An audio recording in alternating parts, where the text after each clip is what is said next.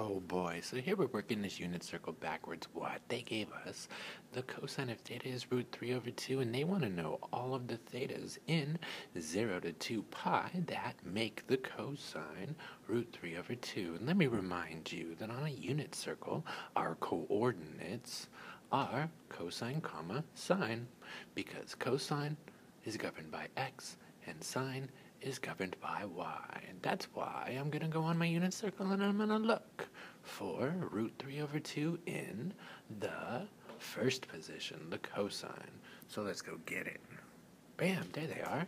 That's where root 3 over 2 happens in the x position because cosine is governed by x. So what's next? Our answers are their corresponding radian measures.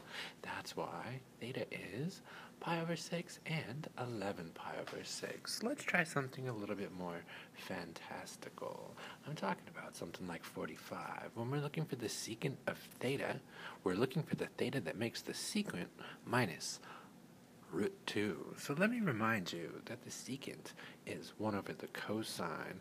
Corresponding, the cosine is 1 over the secant. But wait a secant. We know the secant is minus root 2. So we go throw that in there. And you rationalize because it's the right thing to do. And then you got a minus root 2 over 2. But that's the cosine. Guess what? That same angle is going to make the secant minus root 2, so let's go find that on our unit circle. Cosine is x, so I'm going to go find where my x's are minus root 2 over 2. Look at my x's. Hate them. Okay, yeah, so it's 3 pi over 4 and 5 pi over 4, and it's all over but the box and flowers.